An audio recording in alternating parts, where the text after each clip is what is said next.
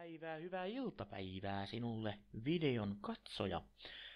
Tällä videolla mä ajattelin kertoa siitä, mitä mä meinaan tehdä tällä mun puhelinliittymälläni ja tota, lähinnä miten mä jaan mun mobiilidatan. Eli tota, aikaisemminhan mulla on itse asiassa tällä päivänä vielä ää, Elisalta tämmönen, tämmönen paketti tai Saunalahdelta, missä mulla on kaikki. Eli se on tämmönen, missä on puhelut, tekstiviestit ja data. Ja kaikki on sen tietyn summan. Mulla on 24 euroa noin, 24-25 euroa sillä välillä.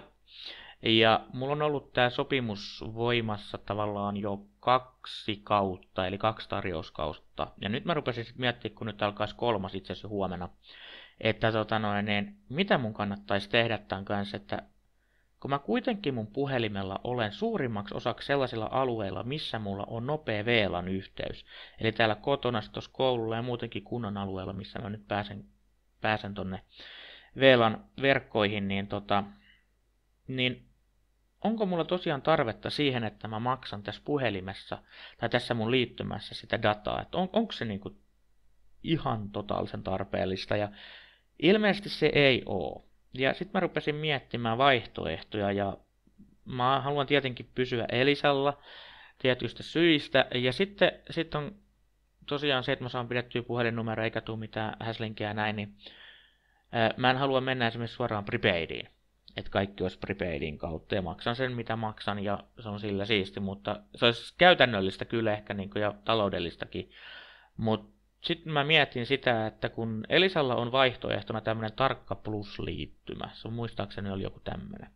Eli siinä maksetaan kaikesta, mitä sä teet. Eli sä maksat puheluista sen, mitä nyt puhut, ja, ja tekstiviesteistä niitä, mitä lähetät, tai niistä, mitä lähetät. Ja tota, mä en kumpaakaan juurkaan tee, ja sitten tosiaan se data, mä en tarvi sitä niin kuin kyllä siihen puhelin liittymään. Et mietitään nyt semmoista vaihtoehtoa vaikka, että ää, mulla on nyt siinä tarkka plusliittymä, mä sanoin, että mä en ole ihan varma nyt mikä sen, mutta se on joku tarkka tämmönen näin.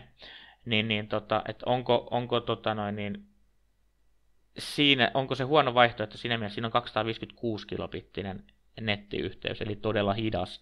Ajatellen sitä, mitä mulla on nyt, mullahan on teoreettinen 50 megaa tässä näin, että mä, mä en ole ottanut sitä supernopeutta sieltä, mutta niin kuin anyways, täällähän ei 50 juuri saa missään muualla kuin tasan tuossa keskusta-alueella, niin mä maksan nytkin vähän niin kuin turhasta, mutta siis siinä on 256, no se nyt ainakin tulee täydellä nopeudella, se on aivan varma, mutta sitten taas, että sit kun mä tarvin, kun mä oon jossain tuolla ulkopaikakunnalla ja näin poispäin, kun mä oon niinku reissussa, niin totta kai nopeille mobiilinetillekin olisi, olisi niinku tarvetta varmasti, ja se 256 ei tule riittää, semmoisen striimaamiseen ja tämmöiseen näin, niin, niin, niin tota, mä rupesin katsoa vaihtoehtoja siihen, että kun mulla on tässä puhelimessa kaksi SIM-korttipaikkaa, eli mä voin ottaa kaksi operaattoria toimimaan periaatteessa samaan aikaan tässä, niin miksen mä vois ottaa sitä yksinäistä datapuolta prepaid-vaihtoehtona. Et se voisi toimiikin hyvin, että siinä olisi niinku justiin se, se hyöty, että silloin ainoastaan kun mä tarvitsen sitä nopeata nettiä, niin mä voin sen aktivoida sitten, että tilataan sitten sitä puheaikaa tai, tai se on oikeastaan saldoa. Et, et tota, ja sitten käytetään sitä silloin, kun tosiaan tarvii. Et se olisi niin kuin se vaihtoehto tähän, tähän niin kuin, että maksa kaikki joka kuukausi, vaikka et käyttäiskään. Niin tota, mä, mä nyt meinaan hypätä siihen sellaiseen kelkkaan, että mä otan prepaidin, niin mä rupesin katsoa vaihtoehtoja siihen, että minkälaisia, minkälaisia liittymävaihtoehtoja on. Mä menin Soneran, eli mikä Telia hyi, niin siihen katoin sieltä sitä prepaid-vaihtoehtoa aivan vanha aikana, aivan kauhea, hyi, hyi, hyi, ei missään nimessä. Sitten mä katsoin Elisan vaihtoehdot, ää, tota, siellä joku yksi vaihtoehto ja se on, se on, tota, se on kans vähän semmoinen, että maksat kaikki, saat kaikki juttu. Eli se ei ole semmoinen modulaarinen, semmoinen mitä mä haluaisin. Ja sitten mä katsoin DNA ja mä olin hyvin yllättynyt, että siellä prepaid-vaihtoehdosta löytyy semmoinen mahtava vaihtoehto, että sä otat, maksat sinne vaikka kympin kuussa, tai no et kuussa, vaan maksat sinne kympin. Ja se menee sinne mä, niin kuin saldoksi siihen prepaidiin. Ja sitten sä pystyt sitä, sitä päättämään, että mihin kaikkeen sä käytät sitä saldoa. Sä voit ottaa sieltä vaikka vain päiväksi netin, vai jopa vaikka tunniksi netin. No siinä oli taas olla 10 tai 5 minuuttiakin vaihtoehtoja. Ja maksat siitä sun saldosta, kun sä oot sinne laittanut kympin, niin sä voit sit sitä niin kuin jakaa niihin erilaisiin paketteihin, mihin sä sitä ikinä tarvitset. Puheeseen, tekstiviesteihin vaikka ja, ja sitten tähän nettiin, mikä on tärkeä. Siinä tulee nopea netti ja mä tosiaankin sit kympistä pystyn jakamaan niitä päiviä, että ja vaikka miten, se ei ole vaan niin kuin, että käytät kuukaudessa tämä, vaan sä voit käyttää sitä saldoa pidempääkin. Niin mä nyt vaikka tilaisin sieltä, laitan sinne kympin, ja tota, mä voin sitten käyttää sitä vaikka kolme kuukauden päästäkin vielä. Että sillä ei ole mitään väliä. Mä en muista, mikä se raja on siinä. Taitaa olla pidempi aika kuin se, se tota, kolme kuukautta, mutta kuitenkin se saldo on voimassa siellä hyvin pitkään. Niin mun mielestä tämmöinen modulaarinen prepaid on aivan mahtava juttu jo nimenomaan mulle, että kun mä tosiaan oon VLANissa koko ajan, lähes koko ajan, niin mulla ei ole todellakaan syytä käyttää dataa, dataa niin kuin liittymässä koko ajan. Niin nyt mä kokeillaan tätä, että mennään tällä, tällä tota, että otetaan data prepaidistä ja puhelut ja tekstiversio ja muut, niin ne tulee sitten sit Elisan liittymästä edelleen. Puhelinnumero ei vaihdu, siinä mulla vaan niin liittymätyyppi vaihdettiin Elisalla. Ja mä olisin ottanut Elisalta totta kai myöskin sen prepaidin, mutta koska se ei sisällä näitä tämmöisiä modulaarisia vaihtoehtoja, niin eihän se sitten sovi tähän mun, mun käyttötarkoitukseen. Et tällä hetkellä mä pystyn kääntymään hyvin tonne DNAlle siinä osalla. Ja mitä mä oon aikaisemmin näitä tehnyt näitä mittauksia, niin Dina, de, Dina, DNAlla on, on tota noin niin, paras kattavuus tällä alueella. Eli, eli niin kuin täällä saat todella nopean netin DNA-verkosta. Että Elisalla se ikävä kyllä on siinä, että vaikka mä oon nyt maksanut tavallaan aina siitä, että mulla on 50 meganen netti, niin eihän mä pääse tällä kuin johonkin 15 joskus, mutta yleensä se on alle 10 megassa. Että ainoastaan tuolla Jokioisten keskusta-alueella, niin siellä saa sitten tota, ää, sen lähes 50 megaa downia, ja uppi pyörii aina siinä, jossa itse asiassa se on hassu, että aina täällä mun kotona, niin, niin Elisan verkossa, niin tota, uppi on nopeampi kuin downi. Ja voiko se toimisi kuidussakin samalla tavalla, mutta mut ei toimi, ei toimi sekään ihan niin kuin mä haluaisin, mutta siis kuitenkin niin DNAlla sitten tulee tällaiset niin kuin suhteellisen hyvät nopeudet, että me päästään 20 ja, ja upeissa, upeissa ollaan jossakin kymmenessä, viidessä. Että se, se on niin kuin ihan, se on vallan mainio niihin juttuihin, mihin mä niin kuin puhelimessa tota nettiä tarviin. Niin miksei?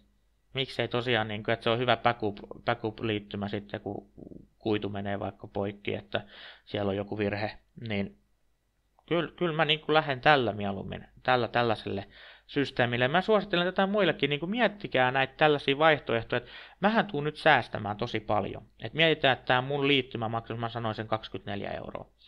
Siitä lähtee, siitä lähtee, no jos mä maksan tosta siitä tarkkaliittymästä semmosen 7-8 euroa, se on 7 euroa suunnilleen se kuukausimaksu siihen. Ja mulla oli aikaisemmin 24, laskekaa te, jotka osaatte, mulla menee vaikeaksi. Niin, niin tota, onhan se siinä ihan mieltön säästö. Okei, joo, mä laitan sen kympin sinne DNAlle, mutta muistetaan nyt se, että mä pystyn sitä, de, sitä kymppiä käyttämään monta kuukautta. Eihän mulla joka kuukausi se kymppi sinne mene. Niin tähän on niin aivan selkeä säästö. Sitten siinä oli tämmöisiä viikon- ja kuukausijuttuja. Oliko nyt DNA Prepaidissä sitten, että jos mä käytän viikon yhteen putkeen vaikka nettiin, niin se oli joku 750 siellä siellä. Että niin kuin, kyllä mä veikkaan, että tämä niin kuin on taloudellisestikin paljon parempi ratkaisu kuin se tosiaan, että mä maksan kaikesta. Miksi mä maksan kaikesta? Justi ensinnäkin tekstiviesti. En mä, ole, mä en muista koskaan mä olisin lähettänyt tekstiviestiä. Tänä vuonna varmaan ensimmäistä kertaa. sitten tosiaan netti.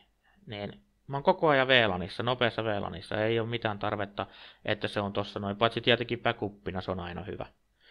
Ja sitten, sitten just, että jos tulisi vaikka joku tiukka kuukausi, ettei mulla olisi varaa oikeasti laittaa niin kuin siihen DNAhan, ei kun, niin, sinne DNAhan rahaa yhtään, niin tässä tarkka liittymässä Elisalla, niin siinähän on se 256, niin kyllä mä silläkin pärjään vallan mainiosti. Siis silloin just esimerkiksi tuolla kaupoilla, kun mä, mä maksan jollakin lähimaksulla tai mobiilepeillä, niin se 256 riittää siihen ihan hyvin, että siinä data liikkuu. Et mähän on niinku eihän tässä voi kuin voittaa. ainakin semmoinen fiilis mulla vielä on. Mutta palataan tähän sitten asiaan, kun, kun niin kuin tavallaan nämä laskut tasaantuu silleen, että, että mä näen pari kuukautta vaikka sitä, että onko tästä tullut hyötyä, niin katsotaan että joskus ensi vuoden alussa varmaan niin nähdään niin kuin ne todelliset luvut, että mi- mihin tämä on niin kuin johtanut. Mutta joo, tämmönen heitto. Ei, tämä ei muuten sitten ollut mitenkään DNA tai Elisan sponssaama juttu. Että totta kai mä haluan kertoa teille, mitä mä käytän, että jos, että jos tämä nyt vaikuttaa hyvältä, niin, niin, tota noin, niin ottakaa mallia. Et siksi nämä kaikki jutut tulee niin kuin mä kerron. Tuotet, tuot, noi yritykset nimeltä, mutta tuotteitahan mä en muista. DNAlla oli se joku super, onko se super prepaid vielä? Kun mä en muista. Ja sitten on Elisalla se oli joku tarkka tai joku tämmöinen se. Et näillä mä menen nyt sitten jatkossa. Näin.